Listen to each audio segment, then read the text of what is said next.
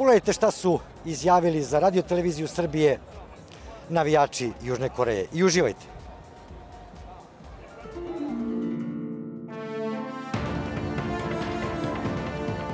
Gentlemen, good evening. Good evening. Do you know this uh, guy? Yes, we know this guy. He's Lade. He played in the K League, Korean Soccer League. Yeah, yeah, he's uh, he was a really great player. He scored many, many, many goals. Yes, I know him. Yeah. You are so Yeah. Do you know? Serbia player. Serbia player played in Korea. Serbia uh, best player so far. Yeah. Do you know this player? Yeah, we know him. Who is? Lade. Rade. Yeah. The Rade came from Serbia. Yes, we know him. He played in Korea. Yes, and then he retired right now, but he was very uh, famous when he played in Korea. It's a good player. Yeah, I, I think so. I believe him.